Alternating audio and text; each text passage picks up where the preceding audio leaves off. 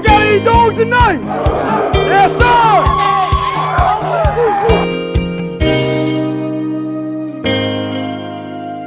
Believe in yourself. Make a play here, okay?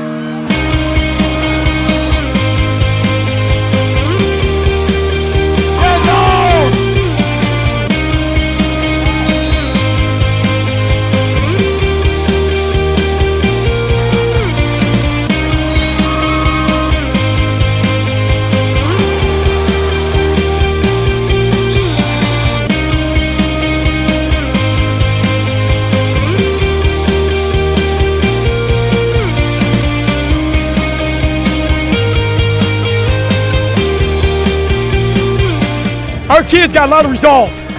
Our kids wanted it tonight.